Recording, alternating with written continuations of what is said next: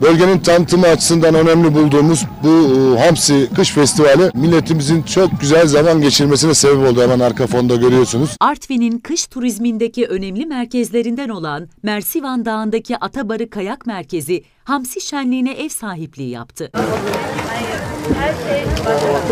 Etkinlik Artvin Ticaret ve Sanayi Odası tarafından kayak merkezinin tanıtımına katkı sağlamak için yapıldı.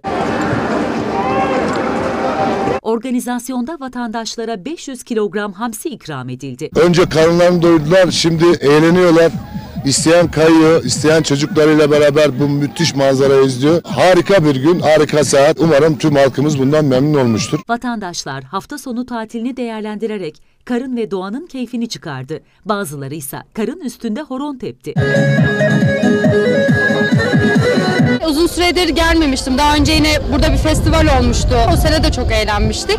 Tekrar geldik. Artvin Ticaret ve Sanayi Odası Yönetim Kurulu Başkanı Seçkin Kurt Atabarı kayak merkezini anlattı. Düştüğü zaman sanki pamuklarda yuvarlanır gibi hiçbir yara almadan gönüllerini ferah tutabilirler. Onun dışında kristal kar olmadığı için Yağ Dağı'nı Basıl Dağı'ndan itibaren profesyonel kayak severlerde müthiş dakikalar, müthiş zevkler bırakıyor geride. Gördüğümüz zirvede arkanıza Karşal Dağları'nı, önünüze de Karadeniz'i alarak müthiş bir seyir zevkine de dalabilirsiniz. Yaklaşık 1.4 kilometrelik pistimizde de umutlara, güzelliklere, güzel anılara dalabilirsiniz.